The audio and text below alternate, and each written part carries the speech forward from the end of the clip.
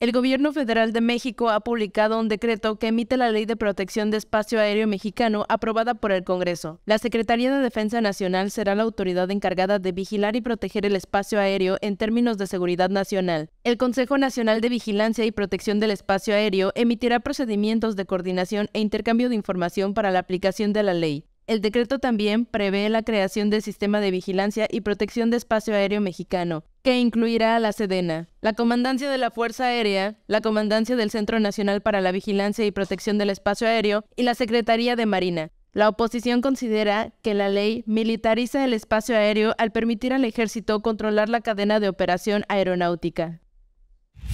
La ministra Yasmín Esquivel ha obtenido una suspensión definitiva para que el Comité de Ética de la UNAM no emita una resolución sobre la investigación por presunto plagio de su tesis de licenciatura. La medida cautelar fue concedida por la jueza Sandra de Jesús Zúñiga, aunque la UNAM aún puede impugnar la suspensión definitiva mediante un incidente de revisión que será analizado por un tribunal colegiado. Días atrás, la jueza había instruido a la UNAM no difundir información sobre la investigación y ordenó que el Comité de Ética no dicte una resolución sobre el caso mientras se resuelve el amparo promovido por la abogada. Sin embargo, un tribunal colegiado resolvió que la UNAM puede dar a conocer información sobre la investigación sin emitir una resolución.